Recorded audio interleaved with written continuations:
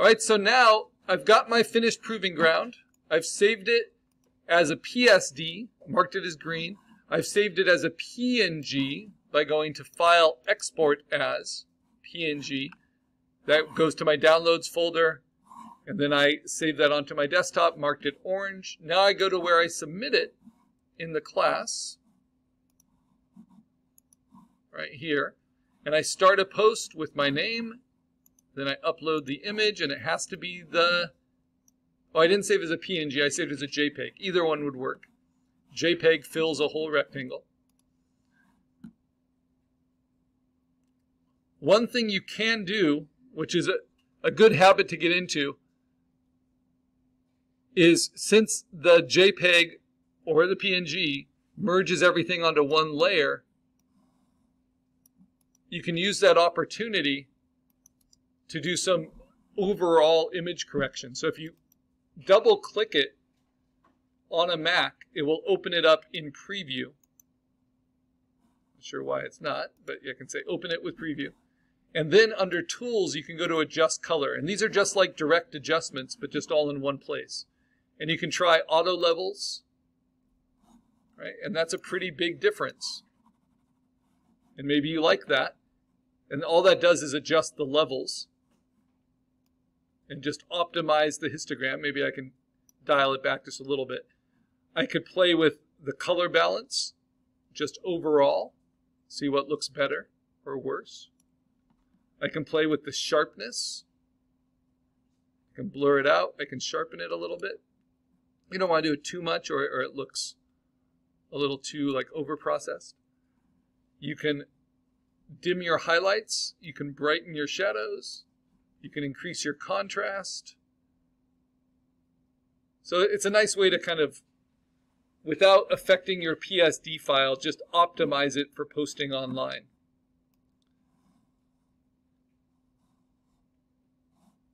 Yeah, and because we're talking so much about textures and overlays, you'll see the difference just between optimizing it and not. I'll have to shrink it down. But side by side, it can make a big difference. And we'll check those things before we print anything too. So to me, this one looks better than this one. Right? Though they're exactly the same, it's just this is, I adjusted the overall levels balance using preview. All right, now once you've posted it, we need to go back to Photopea and we need to look at image size. Oh, this is one thing I'll do too, which is kind of fun for these projects. I'll bring in that color corrected JPEG and I'll just put it right over the top of everything and I'll just save it within the PSD. Because you'll notice it looks a little bit different. It looks a little bit different optimized within Photopea, within the browser, than it does within Preview. But by bringing it on top, it's just like kind of color correction. Then I can use my opacity to just decide how much I want to keep before I print it. All right, now I save it. It's all good. But what I need is I need the image size. Because I need this information. This is part of the rubric. And if I move this out into a different tab, just so I have this information visible while I post, that's really helpful. Because to meet the first rubric criteria, I have to accurately identify the resolution pixels per inch and the physical format. But I have to do it within the two standard digital uh, image sizes. So one would be print size and the other would be screen size, right? So Standard screen resolution is 72 pixels per inch. Standard print resolution is 300 pixels per inch. Neither of those is 350. So how do I see what the physical dimensions of my piece would be at standard print resolution?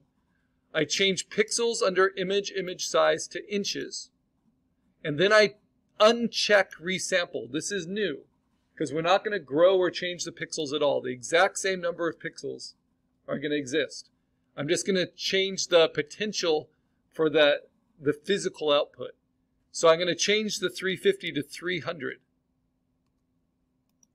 Please let me. There we go. Then I'm going to click on the gray, and then I see that this is eight and a half by 11.9 inches at 300 pixels per inch. Even though I cropped down from my original, this is still more than 8 by 10 at 300. So this is good enough for print resolution. So I type that. I say this is 8.56 inches by, I'm just going to say 12 inches because it's 11.99, at 300 pixels per inch. It has to be at either 300 or at 72. Because it's larger than 8 by 10 at 300, that is good enough for standard screen, uh, sorry, standard print resolution. You get credit for either one. You just need to accurately identify what your pixel dimensions allow you to do. Now, for the third part of the rubric, I've already matched the anatomy and the angle of lighting for the second part. I have to explain how my creature interacts with its environment, right? I need to address any practical concerns that are obvious from the image. So this is a, a, fun place where you can get creative. It's the creative part of creative problem solving.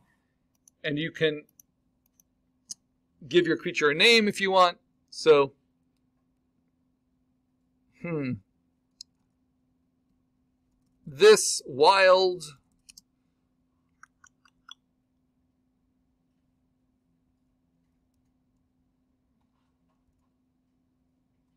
omnibison just eats everything. Um, grazes on the plentiful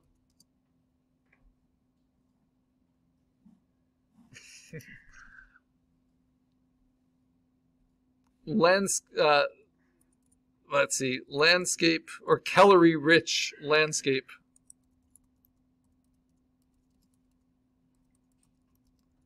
of his native world.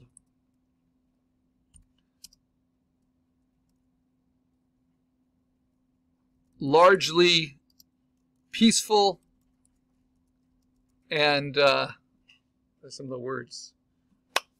What do you say about cows? Like non-threatening, but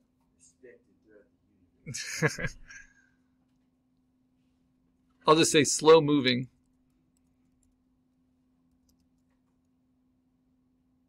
A massive horn and boned uh, cranium ridge gives ample protection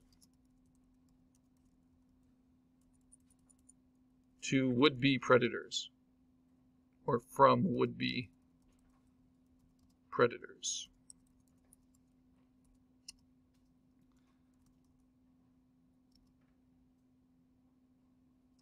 The atmosphere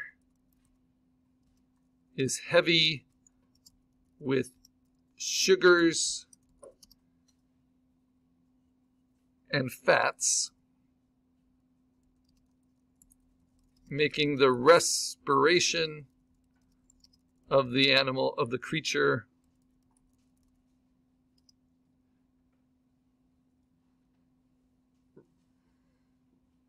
Uh, labored and requiring larger than usual lung capacity.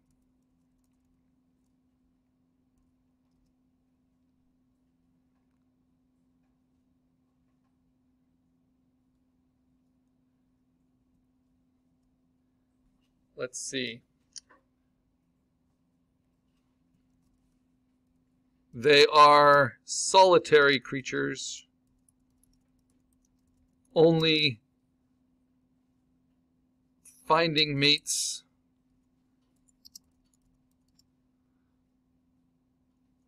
during the Grimace Purple Shake season.